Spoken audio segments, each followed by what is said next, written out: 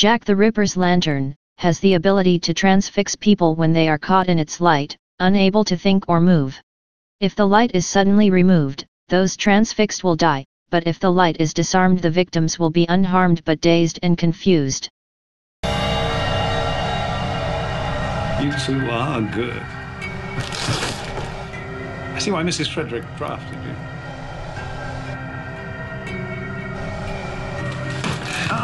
I kill this, and it's lights out for mum and dad.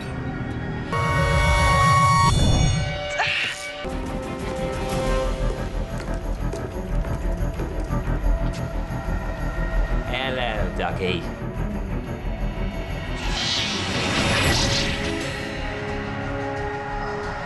Hello, Jack.